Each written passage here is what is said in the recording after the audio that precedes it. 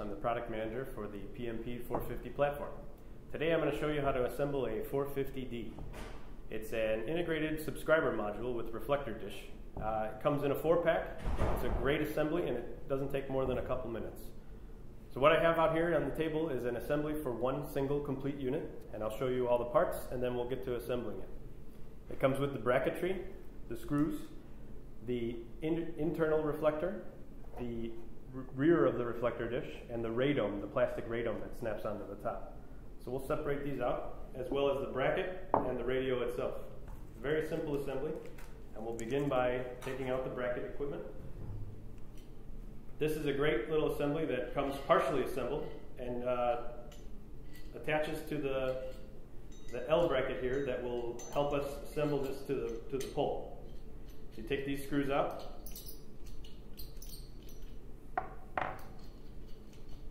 which, uh, as I mentioned, come pre-assembled. And then simply attach this to the L bracket. All of these things, by the way, require a single 13 millimeter wrench. Now I have two tools on the desk here to help me make it a little bit faster and more expedient, but you really can do this with a single 13 millimeter wrench. Once that bracket is attached, and we can tighten it to make it a little more uh, stable, of course.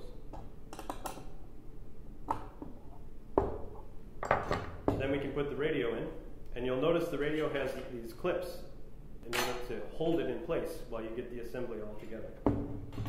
Once that radio is on there, the next piece is attaching the rear of the reflector dish onto the radio assembly. We do that, again, align the plastic holders so that it can snap and hold it in place while you get your screws out and, uh, and assemble. The screws come in a little package all by themselves. And these easily fit in the four holes provided. And I'll go back and retighten each of these to make sure they're secure. You could also use an M5 Allen wrench as they have that in the, uh, in the head as well uh, as an option. So it's up to you which, whichever style you like.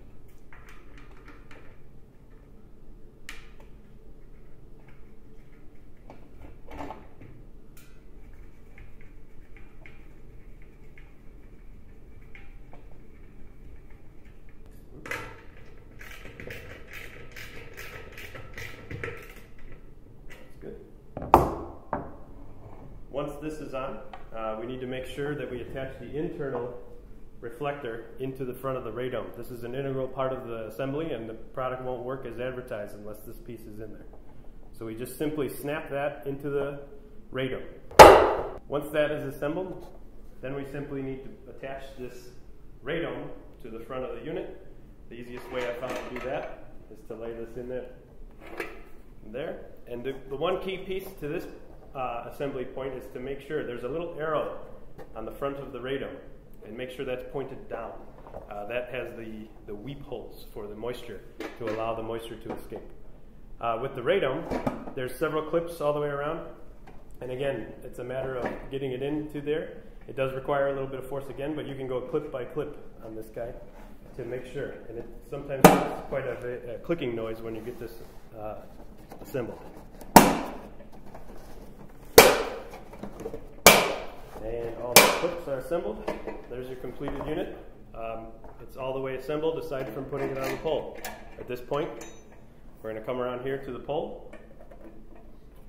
Once these uh, bolts are loosened enough, again, this has a captivated end and a, a slot end, and you can put this around the pole as such.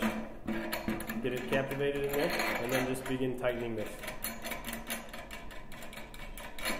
So it's on there fairly loosely now. I'm going to turn it around and we'll get a close-up of this.